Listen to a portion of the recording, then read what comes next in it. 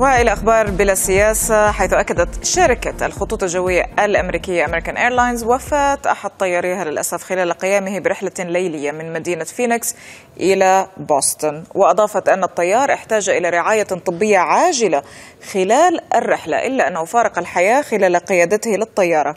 وأوضحت الخطوط الجوية الأمريكية أن الطائرة هبطت بسلام بعدما تولى مساعد الطيار على الموقف وحول مسار الطائرة إلى مدينة سيراكيوز في نيويورك ننتقل إلى خبر آخر حيث ألقت الشرطة المكسيكية القبض على زعيمة عصابة تورطت في 150 جريمة قتل بعد أن أوشى بها صديقها.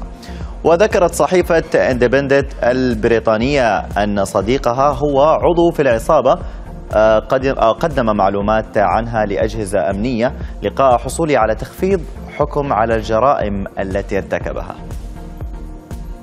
صراحة هذه القصة تبرهن أنه إن كيدهن عظيم وأنه الرجال ما لهم أمان.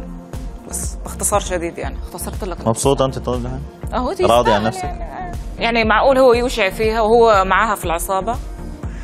يلا على العموم كشفت شركة مايكروسوفت النقاب رسميا عن الحاسب المحمول المتحول الذي حمل اسم Surface Book الجهاز الجديد مزود بشاشة قياسها 13.5 إنش ولوحة مفاتيح مضاءة قابلة للإزالة. أما عمر البطارية فيصل إلى 12 ساعة من الاستخدام المتواصل دون الحاجة إلى شحن ويتميز بخفة وزنه. وسعر Surface Book يتراوح بين 1500 دولار أمريكي طبعا إلى 2700 دولار حسب مساحة الذاكرة. وسيكون متاحا للشراء بشكل رسمي ابتداء من السادس والعشرين من شهر أكتوبر. لم يعد موقع فيسبوك يقتصر على كونه للتواصل الاجتماعي فحسب وطموح مؤسسة ستعانق السماء أيضا. إذ يعتزم مارك زوكربيرغ إطلاق قمر اصطناعي من يوتلسات الفرنسية. والهدف هو توفير خدمات الإنترنت إلى المناطق النائية في شرق وغرب أفريقيا على وجه الخصوص. ومن المقرر أن ينطلق القمر الاصطناعي بداية من العام المقبل. وإلى هذه المعجزة التي حدثت في أستراليا تحديدا حيث تمكن الأطباء هناك من القيام بمعجزة طبية. بعدما تمكنوا من إنقاذ حياة طفل يبلغ من العمر عاما واحدا فقط كان رأسه قد انفصل عن عنقه داخليا.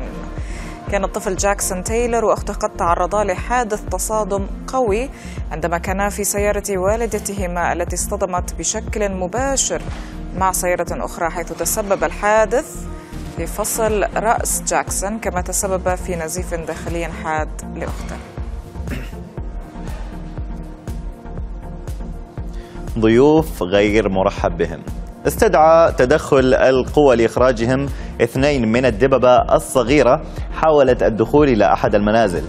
وكلب صغير كان يحرس هذا المنزل كان لهما بالمرصاد بحجمه الصغير مقارنة بأجسامهم الضخمة حتى لقب بالولايات المتحدة بالكلب البطل.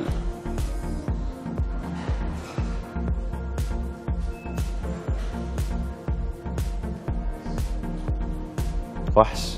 وحش كلب. وحش جامد. مشاهد أثارت الذعر لزوار البرج الزجاجي في الصين بعد أن شاهدوا شرخا زجاجي على الممشى المشيد على ارتفاع أكثر من ثلاثة ألاف قدم مما أدى إلى تحطم قطعا منه حيث قامت إحدى الزائرات بتصوير الشرخ ونشره على مواقع التواصل وقالت أنها شعرت بهز أو بهزة تحت قدميها لحظة كسر الزجاج وأغلقت السلطات المكان بعد الحادث لترميمه.